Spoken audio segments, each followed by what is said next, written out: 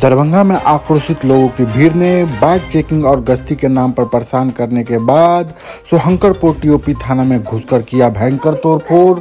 वहीं लोगों ने कहा कि यहाँ के थाना प्रभारी शराब माफियों का है दलाल। जी हाँ दरभंगा शहर के सोहंकरपुर टीओपी पुलिस को मंगलवार की देर शाम वाहन चेकिंग करना महँगा पड़ गया।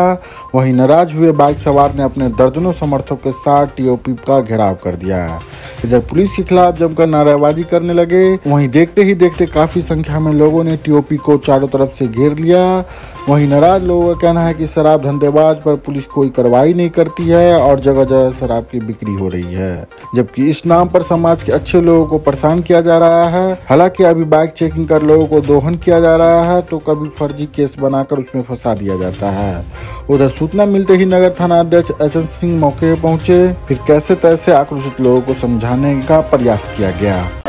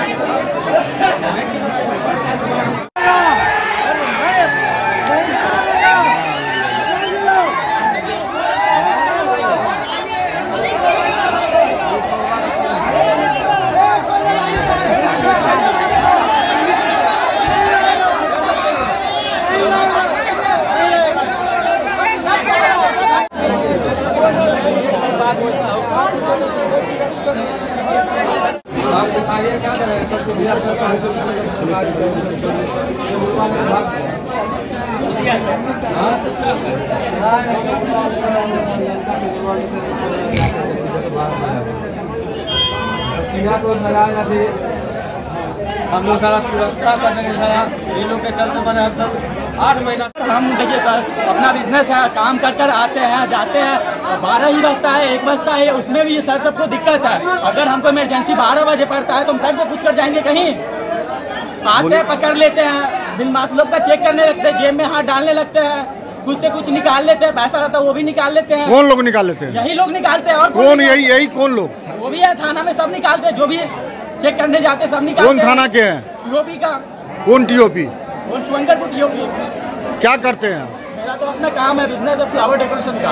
सर को हम कितना बार बोले भी है हम लोग को सर लेट नाइट हम लोग ना लेट नाइट से काम कर कर आते हैं। हम लोग ऐसा ही हम अपना मजदूर के साथ आते हैं। फिर भी सर समझ नहीं रहे एक बार ने चार चार बार बोले हैं। आपके साथ भी घटना घटी है? मेरे साथ भी आज भी घटा है। क्या नाम है आपका? राहुल कुमार। टीओपी के?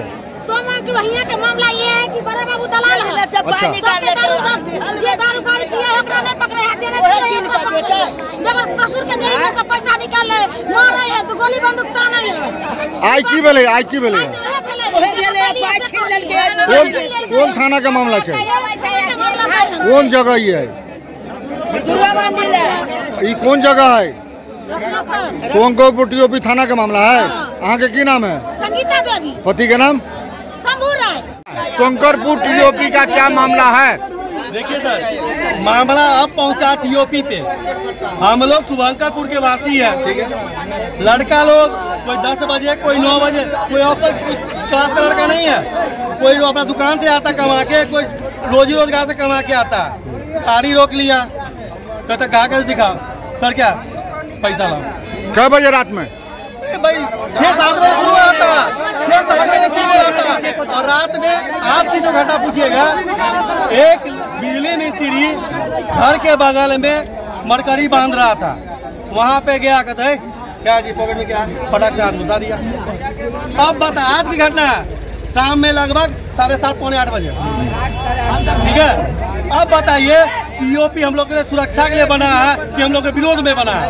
अगर सुरक्षा के लिए बना है तो सुरक्षा मुहैया कराया जाए पीओपी को बंद कराया जाए। और नहीं तो हम लोग पे लाठी चार्ज करवाइए गोली करवाइए या जेल ले चलिए। आज का मामला क्या है आराम से बताए कोई नहीं बोले बीच में। आज का मामला शाम में साढ़े सात पौने आठ बजे का है।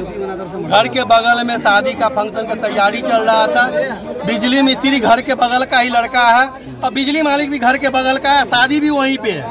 वो मरकरी बाँध रहा था। गए हैं।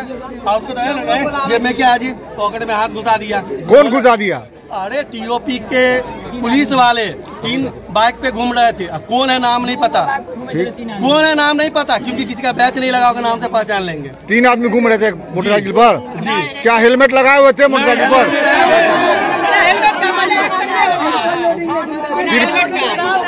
तिरपो लोडिंग में थे।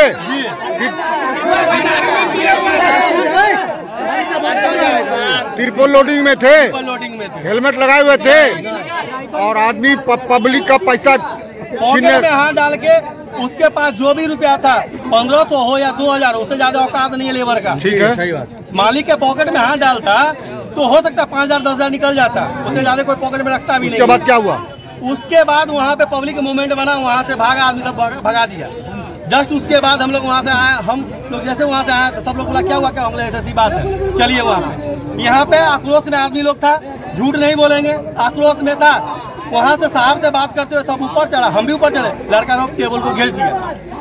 तू तू में मैं हुआ उसमें राइफल निकाल के गोली मार देंगे। अरे ठीक कौन है। बोला रायपुर का गोली मार देंगे? प्रबंधक